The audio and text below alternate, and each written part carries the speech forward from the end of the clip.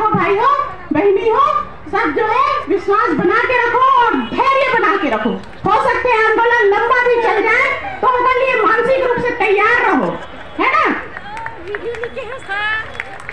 छत्तीसगढ़ सहायक शिक्षक फेडरेशन छत्तीसगढ़ सहायक शिक्षक फेडरेशन इनकलाब इनकलाब बहुत बहुत धन्यवाद होगी हमारा शिक्षक मोर्चा छत्तीसगढ़ टीचर्स एसोसिएशन आपके साथ खड़ा है, आपकी बातों के साथ खड़ा है। शासन सरकार से आपकी बात हम ज़रूर रखें। और हमारे जो शिक्षक साथी हैं, वेतन विसंगति आप लोगों से निवेदन है, थोड़ा बाद में आप लोग फ़ोटो लीजिए। एक ज्वलंत उनका विषय है। उनका विषय यही है कि वो बीएड है और वो सहायक शिक्षक में पदस्थ हैं। सहायक शिक्षक में पदस्थ है, सरकार ने नियुक्ति दिया और अब सरकार की गलत नियुक्तियों के कारण उनको सुप्रीम कोर्ट से कहा जा रहा है कि भाई, यह नियुक्ति सरकार ने गलत दिया है, इनको बाहर किया जाए। साथियों, हम पूरा एक लाख अस्सी हज़ार शिक्षक उनके साथ हैं। क्योंकि वो शिक्षक है, हमारे साथी है, और हम उनके अंतिम लड़ाई तक उनके साथ हम देंगे।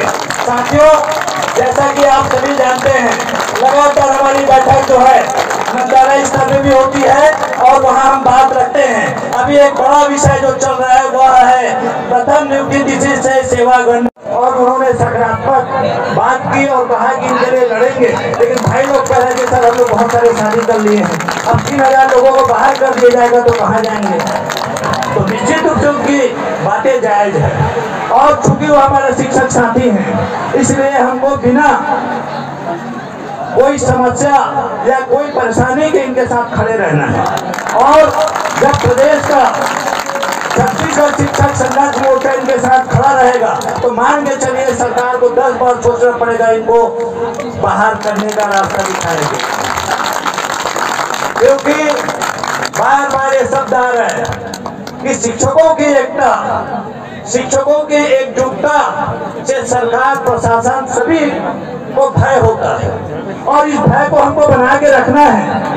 आज इस मंच के माध्यम से माननीय विष्णुदेव सरकार को मैं कहना चाहता हूँ बहुत विनम्रता से कि आप हमारी इन मांगों को गंभीरता से सुनिए और इसे पूरा भी कीजिए, हमसे चर्चा कीजिए और यदि आप हमको हल्के में लिए तो प्रदेश के एक लाख अस्सी हज़ार गुरु जी बहुत भारी पड़ेंगे। बहुत ज़्यादा भारी पड़ेंगे और ये चेतावनी अभी हम नहीं दे रहे इसके पूर्व के सरकारों को भी हमने चेतावनी दी है और सत्ता से बाहर भी किया हम सभी राष्ट्र निर्माता हैं और राष्ट्र निर्माता राष्ट्रभक्त होता है। आपकी पार्टी भी राष्ट्रभक्तों की पार्टी कहलाती है।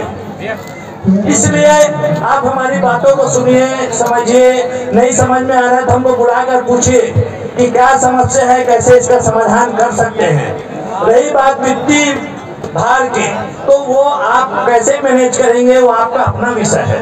आपने जन घोषणा पत्र में स्पष्ट लिखा था कि प्रदेश के शिक्षकों के वेतन, सहायक शिक्षकों के वेतन विसंगति दूर करते हुए।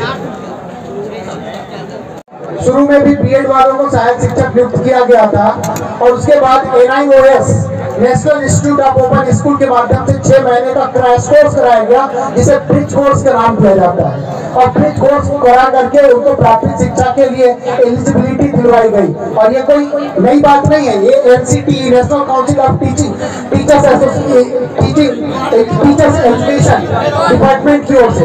हम किसी का हक नहीं छीनना चाहते। हम चाहते हैं डीएड वालों को बिल्कुल उनका हक लेकिन जिनको सेवाएँ दी जा चुकी है, उनके थाली परोसी जा चुकी है उस पड़ोसी उस थाली को छीनना अमान्य है। इसलिए सबका विकास है तो सबका साथ होना चाहिए। डीएड वालों को भी उनका हक दिया जाए। बहुत सारे पद खाली है, जिन्होंने एग्ज़ाम दिया, उनको टक्कर ऊपर आप नीचे से ऊपर अपग्रेड कीजिए। लेकिन जिनको दिया जा चुका है, उनको छीनना अपराध ही नहीं अब और उनकी मांगों के छत्तीसगढ़ राज्य शिक्षक मोर्चा जो बना है, हम चारों संचालक उनकी मांग का पूर्ण समर्थन करते हैं और आने वाले समय में उनके ऊपर अगर कोई परेशानी सरकार लाती है, निश्चित तौर पे उनके लिए हम जो सड़क से लेकर तरह तक की लड़ाई लड़ने के लिए तैयार है।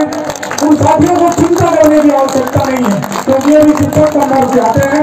निश्चित तौर पे हम उनका समर्थन करते हैं और उनकी जो भी समस्या